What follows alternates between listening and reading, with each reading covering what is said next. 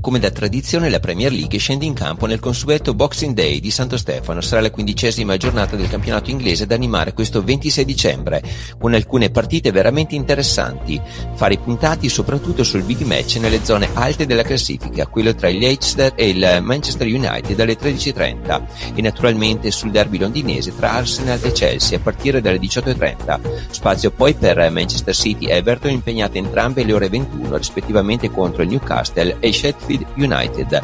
Boxing Day che non comincia sotto i migliori auspici per il Manchester City, che dovrà fare a meno del match contro il Newcastle di Gabriel Jesus e Killer Walker. I due calciatori sono infatti risultati positivi al Covid-19.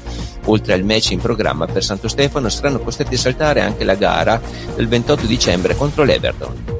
Ad annunciarlo è stato direttamente il club inglese con un comunicato sul proprio sito ufficiale, nel quale ha specificato come anche due membri dello staff siano risultati positivi, oltre ai due calciatori. Non una buona notizia per Guardiola. Dunque ci si augura di riavere a disposizione entrambi i giocatori in vista del match del prossimo 3 gennaio contro il Chelsea.